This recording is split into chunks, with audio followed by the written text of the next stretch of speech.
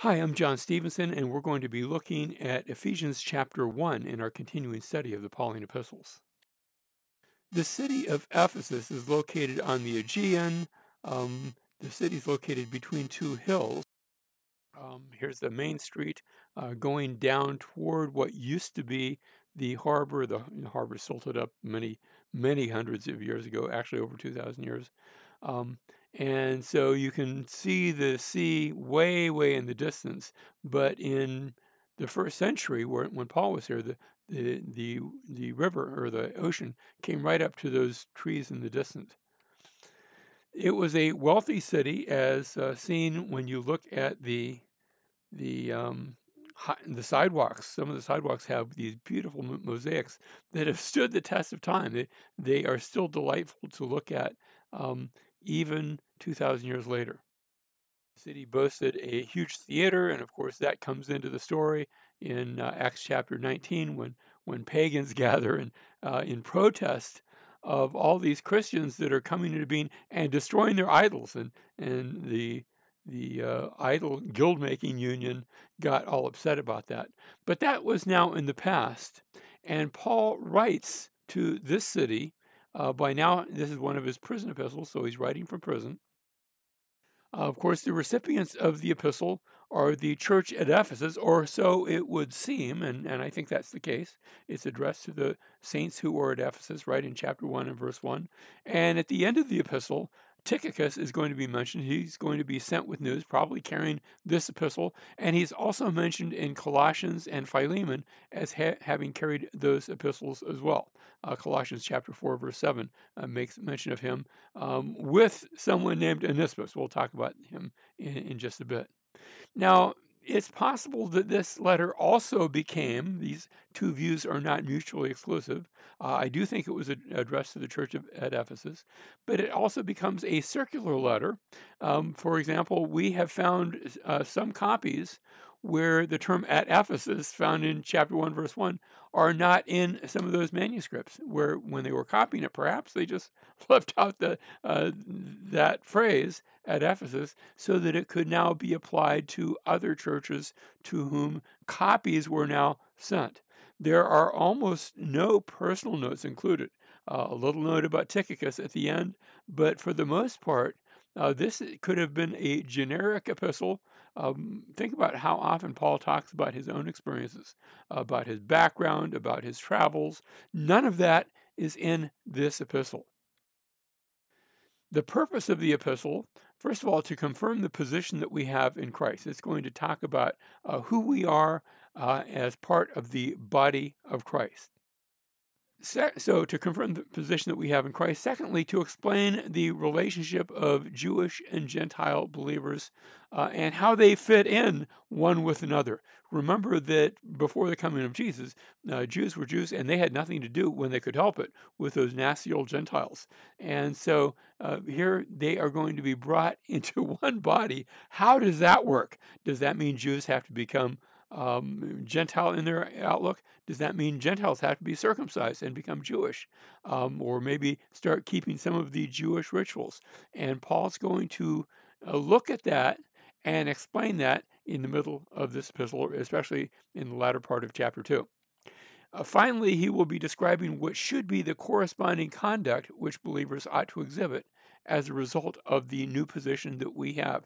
And so that's actually going to the first those first two points are going to be covered in the first three chapters, and then chapters four, five, and six are going to be describing that conduct. How do we live uh, in light of our new position?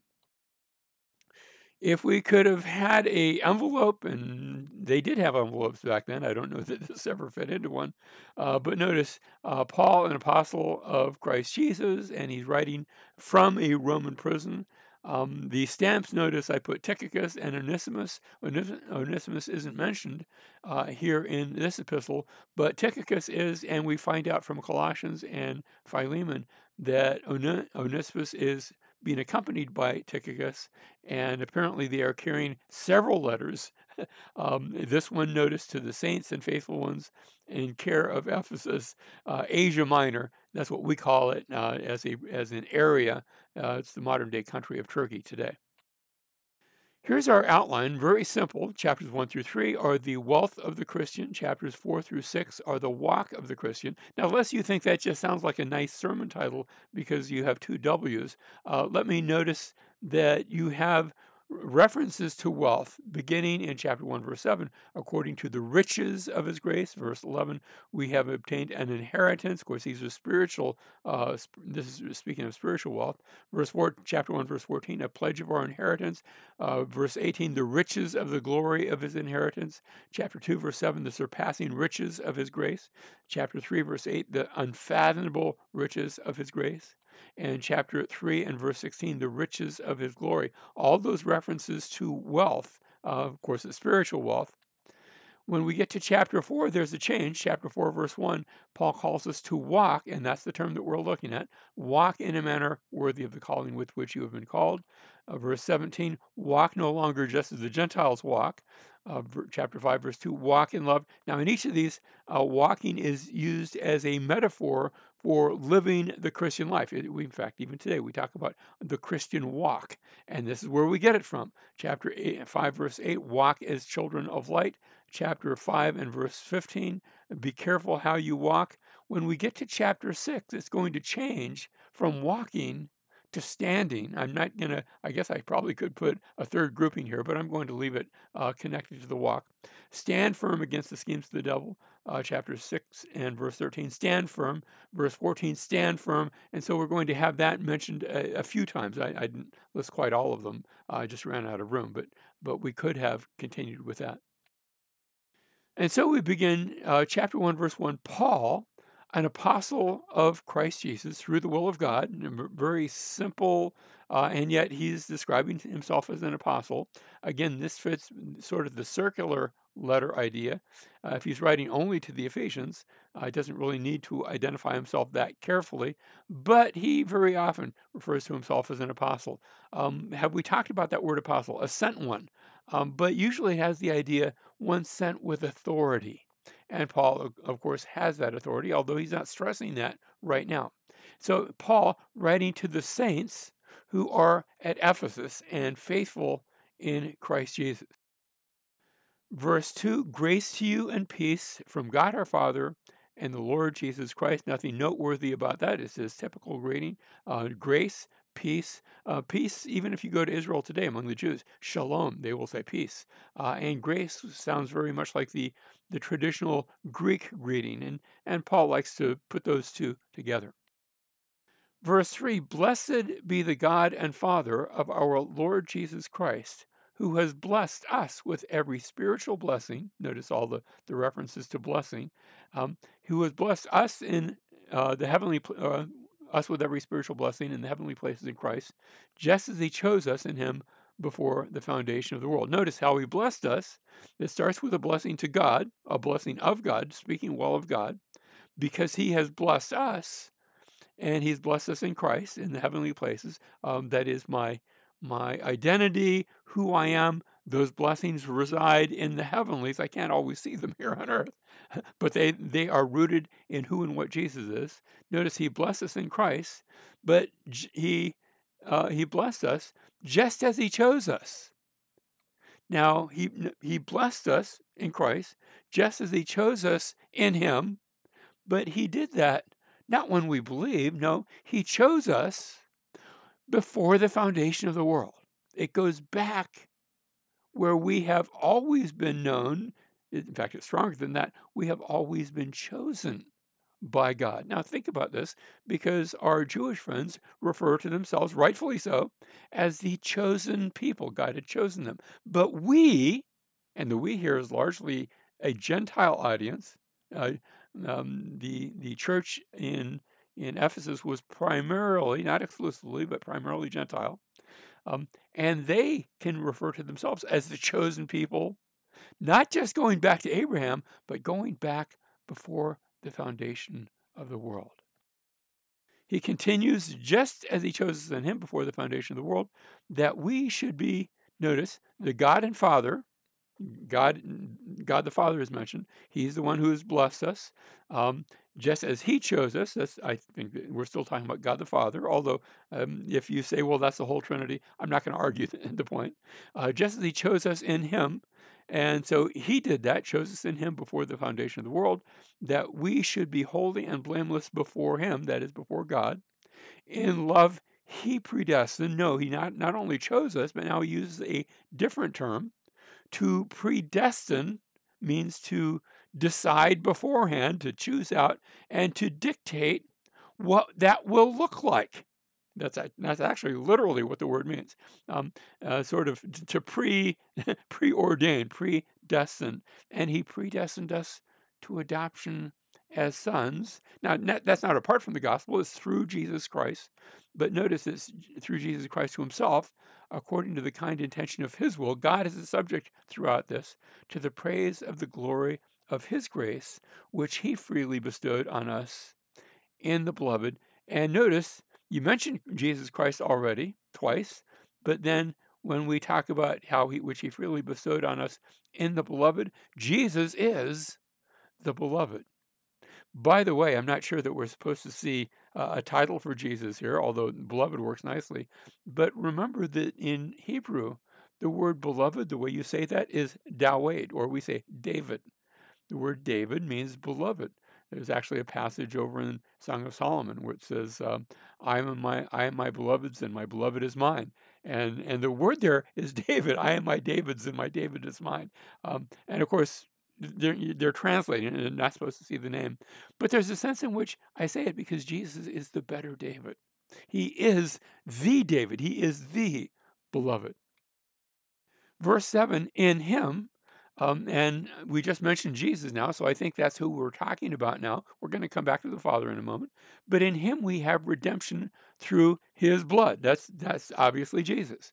It's it's his, it's his blood, his death upon the cross, his shedding of blood, his giving of his life, which shedding of the blood is the outward way to see that that his life was taken. No, I shouldn't say his life was taken. His life was given um, he corrected Pilate when Pilate said, Pontius Pilate said, uh, Don't you realize I've got the power over life and death? I could take your life. And Jesus said, No, no, you don't have that power. you just think you do. It just looks like you do, but you really don't have that power. And so we have redemption through his blood. That is, we've been set free. That's the redemption part uh, through his blood. Uh, the forgiveness of our trespasses according to the riches of his grace. Now, notice it's uh, the forgiveness is according to the riches. Now, when something is in accord with something, that means that they are on sort of on the same level. Our forgiveness, well, you, you say, well, how how many, many riches does God have? He's got all the riches, uh, you know, a whole universe full. And that's how much forgiveness we have. Verse 8, which he lavished upon us. And so notice it's the riches of his grace. I think we're back to talking about uh, uh, the Father here uh, that he lavished upon us. Um, in all wisdom and insight, he made known to us the mystery of his will, according to his kind intention, which he purposed in in him goes back to Jesus again, because it's in him that we have redemption. Verse 10, we continue the same sentence. By the way, notice it's a very long sentence. Uh, in fact, it's even longer. Let me just say this it's even longer in the Greek text. Um, we put a period at the end of verse 6 in, in our English translation. There is no such period in the Greek text. Um, he, Paul begins talking about the Father and then moves to the Son. And I'm going to, mm, spoiler alert here, he's going to uh, speak next about the Holy Spirit. Um, and he doesn't take a breath, he doesn't stop for a sentence or a period. It's one sentence from in the Greek text from verse 3 all the way to verse 14. Uh, but we'll throw in a few, we'll allow the translators that have thrown in a few periods here. But still, they're trying to give you the sense that this is one long continuous sentence with a view to an administration suitable to the fullness of the times. That is the summing up of all things in Christ. Notice Jesus is mentioned there. Things in the heavens and things upon the earth. In Him um, is this God or Christ, I'm going to leave it up for grabs. In him also we have obtained an inheritance, having been predestined, having been predestined according to his purpose. I think that's uh, that's the Father. The Father purposes, the Son fulfills, and we're going to see. uh, the Spirit reveals. And God works all things, Father, Son, and Holy Spirit. Notice who works all things after the counsel of his will. Um, do you see that? That he predestined according to his purpose. Now, when I say predestined, that's not just predestined according to who would be saved and who would be lost, although it includes that. But our salvation is according to his purpose, who works all things, not just salvation, not just things that are mentioned in the Bible. He works all things after the counsel of his will. That's that is a God who is in control of all things. What do all things mean? I think they do mean all things, verse 12, to the end, to the result, that we who were the first to hope in Christ should be to the praise of his glory. Verse 13, in him, you also, in Christ, you also, after listening to the message of truth, the gospel of your salvation, having also believed, notice um, you heard, having also believed, you were sealed in him. In who? In Christ, with, and now we change to the third person of what we call the third person of the Trinity, the Holy Spirit of promise. And so we notice throughout this section, uh, Paul hits the Father, the Son, and the Holy Spirit. And the Holy Spirit of promise, who is given as a pledge of our inheritance. The, um, the idea of a pledge was that you would be given something as a promissory note that you were going to get the real thing. In fact, um, just the other day, I had some shoes that are, uh, I really like these shoes, but they're starting to get worn out at the soles. So I took them into a shoe repair shop and they said they would have it by Thursday. I'm recording this on a Tuesday, so a few more days. Uh, I will be going in to get them. And I have a sticker that they gave me that says I paid for them, and they are my shoes. And so when I go in to pick them up, I will bring in the sticker, and that's the pledge that the shoes will be not only ready, but there's a receipt there that says it's bought and paid for. We have something that says we have been bought and paid for. We have the Holy Spirit. He is the Holy Spirit. Notice how he's called the Holy Spirit of promise. That is, there's a promise been given, and we've been given the Spirit that is a guarantee that we'll, we will receive what has been promised. Notice who is given as a pledge of our inheritance. I haven't received the inheritance yet.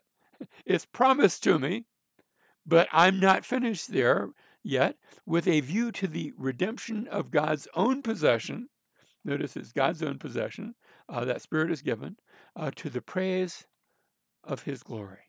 And so there's coming a day when I will come into my own, it is my possession now, but I can't see it, but one day I will. Now, we had the opening salutation in chapter 1, verse 1, verses starting from verse 3 all the way to verse uh, 14.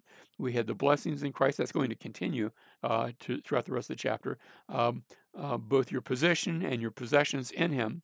Um, verses 3 through 14 are praise for what God has done, both who He is, what He done, what He has done, what He did in eternity, what He did in sending Jesus, what He did in giving us the Holy Spirit. And God is being praised throughout. Next, we come to verse 15 to the end of the chapter where we're going to see a prayer that we might come to fully realize those things that we've been given and those possessions that we have, but we can't see them yet. Let's look at that.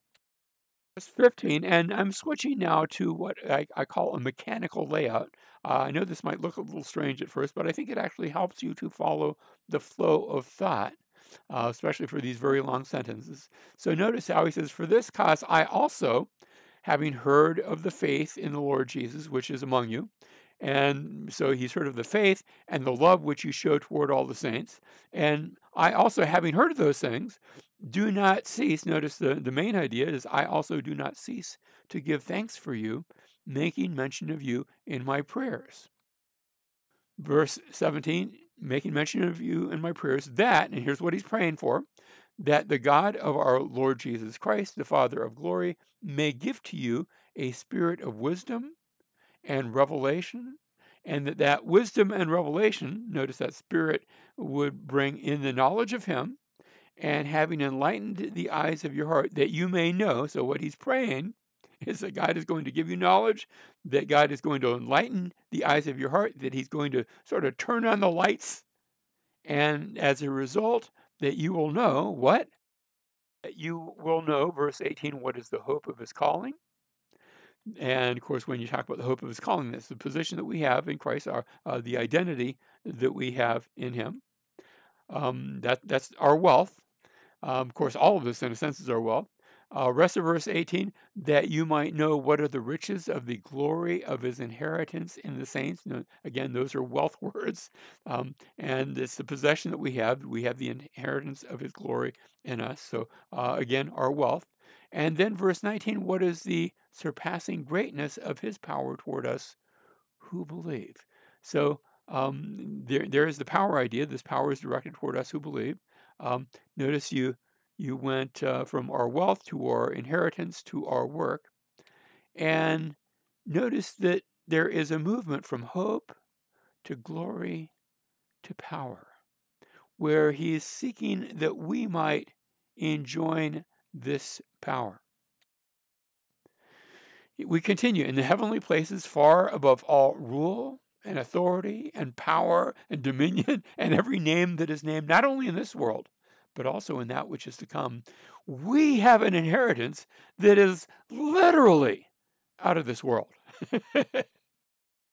and not only that, he put all things in subjection under his feet. Now, it doesn't look that way sometimes, but it is. He is, eh, God's in charge of everything. Jesus has been put in charge of everything and gave him to be head over all things to the church.